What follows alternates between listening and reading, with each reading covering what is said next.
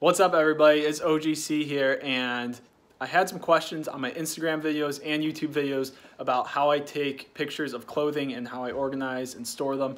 So today I'm going to address that just with clothing. I think shoes and hard goods will be another video. Um, but before I get into it, everything that I'm going to show you here, or most of the stuff, is um, stuff that I use and I got on Amazon, and all those links will be down below in the description. So if you guys want to help support this channel, it'd be much appreciated um, if you use those links if you're interested in any of this stuff. So let's get right into it. So I put the inventory that I get from like thrift stores or garage sales in these boxes right here. Um, I keep these in the trunk of my car. I then bring them up the stairs. I put them down and I basically just grab what's ever on top when it comes to clothing first. I then bring the clothing item over to this nice big hanger right here. Um, I got this hanger idea, like I created this because of a Ralli Roots video, so I'll link that video in the description below. But the these big hangers are nice because they add a little bit more volume to your clothes and it makes it look better than just hanging it on a regular Okay, so now that I buttoned all of it up, you can see how much better it looks on this bigger hanger as opposed to just a regular smaller hanger. And again, it didn't take me much time to create this. It only took me a few minutes. I'm really not artistic at all. Um, it's just really simple. So I know you guys might be uh, wondering how I do pants and shorts. It's really simple. I just get one of these hangers that has a clip, um, or two clips, excuse me, and you just put it here take pictures just the same way you would take pictures of like dress shirts or regular polos or whatever. I'm going to show you my light setup and how I weigh and package clothing. So I'll hang the item up here. I'll then throw on these really nice studio lights. The link for these lights is in the description. I highly, highly recommend them. They're super portable. Um, they're really easy to store and I love them. After I take the pictures of the shirt, I then um, put it right down on the table and I write out the item number and the bin it's going to. So in this case, I am on bin um, E right now, and then I am on item 32.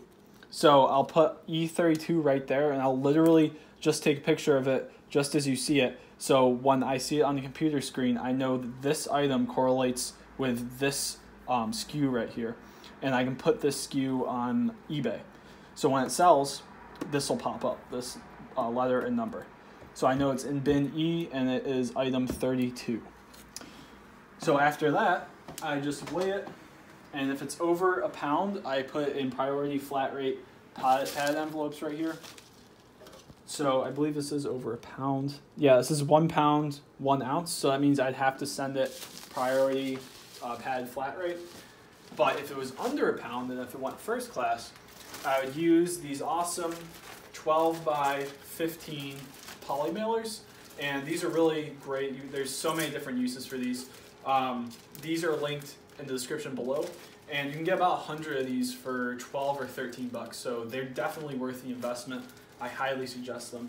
So I wrote um, E32, but since this is going padded flat rate, what I'm going to do is write the weight as PF which I mean I don't necessarily need to do because I know this is a pad flat rate. Um, but if this was like a first class item like this item, I wrote the weight as 10 ounces, meaning that it just saves me time on the back end because I can just quickly go know when it's uh, when I need to ship it that it is 10 ounces and I don't have to weigh it again. So really the goal here is just to touch the inventory one time. Here's my package once it's all packed up. I will put it back in the box that I got it out of and I will bring this like travel box, I guess that's what I call it, down to my final storage bin, which will be bin E, because E is where it lives, and its unique identifier is 32. So when this box is full of all the different E's, um, I bring them to their final uh, destination, which will just be bin E. Okay guys, so I hope you enjoyed uh, my video and how I organize things. Um, it's really important as a reseller to be organized and stay on top of stuff. Uh, I'm not trying to brag, but I really have never lost an item before or have not been able to find it. So the more you can take care of like on the front end and the less you have to do on the back end when the product actually sells, the better position you'll probably be in. And really only try to touch your inventory one time. So if you guys like the video, please smash the like button, subscribe, and comment what else you want to see or what else you want me to do. Also, if you're interested in any of the products I use, don't forget to look at uh, the affiliate links down below. So I really appreciate it. Thanks, guys. Peace.